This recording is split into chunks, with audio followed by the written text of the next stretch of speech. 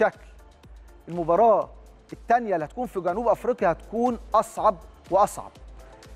يلزم من اللاعبين لازم يكون في تركيز كبير جدا لازم يكون في حذر لازم أكون حاطط في اعتقادي وفي حساباتي أنا بقول للعيبة عشان إحنا كنا مر- يعني أنا واحد من اللاعبين اللي لعبوا النادي الأهلي ومرينا بظروف كتيرة زي دي.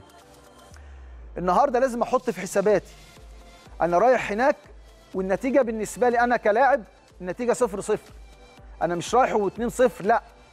مرت... يعني مركنش على 2 0 دي أو أحط في ذاكرتي وأنا نازل المباراه ده أنا كسبان المباراة الأولى في استاد القاهرة 2 0 أو أديت مباراة قوية أو أنا اللي كنت مسيطر لأ. أنت النهارده بتبتدي مباراة من أول وجديد.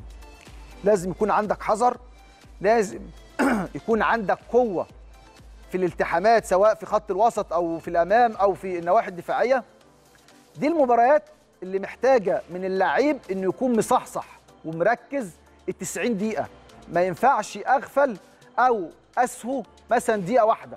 إن دايما المباريات الكبيرة زي ما بقول لحضراتكم دايما بتحسم بالتفاصيل الصغيرة. والنادي الأهلي ولاعيبه النادي الأهلي إن شاء الله قادرين إنهم يعدوا أيضا المباراة الثانية